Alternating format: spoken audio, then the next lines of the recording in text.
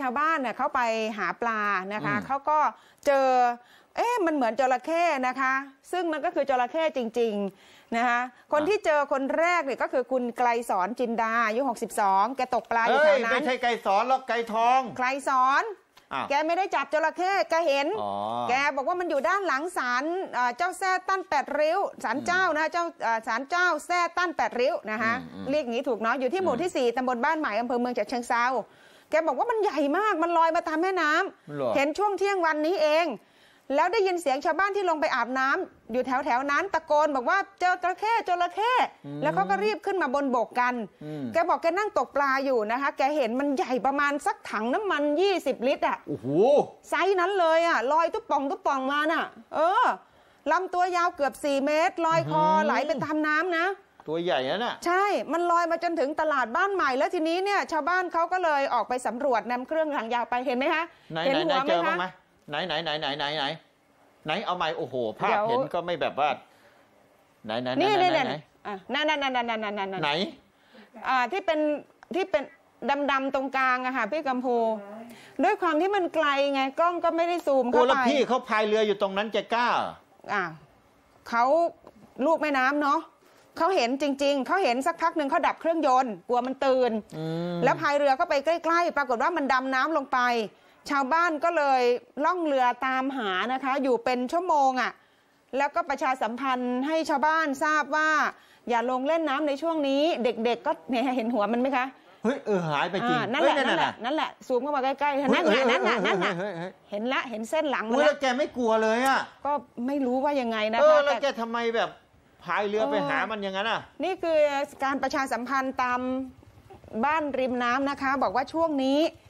อย่าลงเล่นน้ำให้ทุกคนกลับขึ้นฝั่งเด็กเด็กกันทั้งหลายอย่าลงเล่นน้ำเด็ดขาดนี่ค่ะ ตลอดสายน้ำบางประกง ซึ่งยาวมากนะคะ ไม่ทราบว่าคุณผู้ฟังของเราได้ฟังได้ชมรายการบ้างหรือเปล่านะคะอืมก็จะได้ทราบกันว่ามันมีจระเข้จริง ๆ เห็นกันหลายคนมากอืมอ่า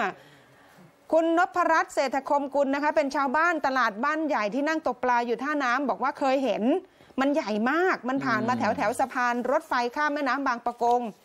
ส่วนตัวแกก็กังวลและกลัวมาก เพราะว่าพักอยู่ริมน้ำตอนนี้ก็ไม่กล้าไปตักน้ำขึ้นมาใช้เลย ไม่กล้าลงอาบเลยค่ะ ก็รอให้เจ้าหน้าที่จัดการจับให้ได้ซะก่อน แต่ว่าตอนนี้นะคะยังจับไม่ได้ เจ้าหน้าที่กู้ภัยต่างๆนะคะ ประมงจังหวัด ก็พยายามวางแผนร่วมกันอยู่ว่าจะใช้วิธีเอาอวนขนาดใหญ่ลงล้อมดีไหมอืมคาดว่ามันน่าจะหลุดออกมาจากฟาร์มนี่อ๋อเบื้องต้นนะเพราะมันใหญ่มากนี่ ใหญ่อย่างนี้เลย คุณลุงบอกใหญ่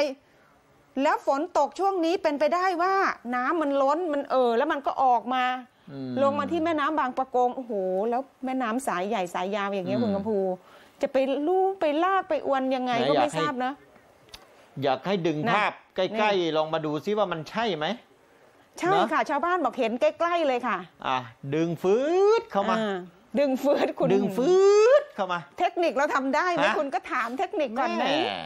แม่แม่นี่นี่นี่เอางี้คุณไปว่ายน้ำหาดูเองไปะเว้ยเนี่ยแหละค่ะหัวจระเข้ค่ะพี่กัมพูเพราะว่าคนที่พายเรืออยู่ตรงนั้นเนี่ยมันเล็กเขาเห็นว่าเป็นจไงระเข้ก็ดูจไม่ออกไริง ๆ ถ้าเทียบกับตัวคนที่พายเรือไม่เล็กนะ อันนี้คือหัวเขานะคะ นี่คือภาพเราไกลไง แต่ยอมใจแกจังเลยอะแต่เออแกยอมใจแต่ว่าเนี่ยในภาพนี้ชัดอืมเห็นแต่ว่าถ้าห็เป็นจหลังระเข้ผมว่ามันจะไปแรงกว่านี้เปล่าอืมเอ้ยเอ้ยเอ้ย โอ้แต่อันนี้อันนี้ใกล้เคียงเนี่ยนะเออภาพเนี้ย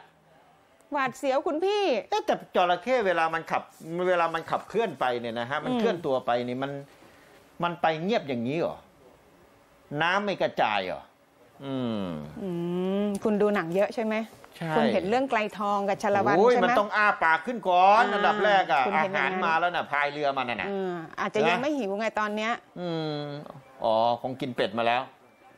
ก็ถ้าเป็นจระเข้เลี้ยงเขาก็จะเขาก็จะมีคนให้อาหารเขาเนาะออ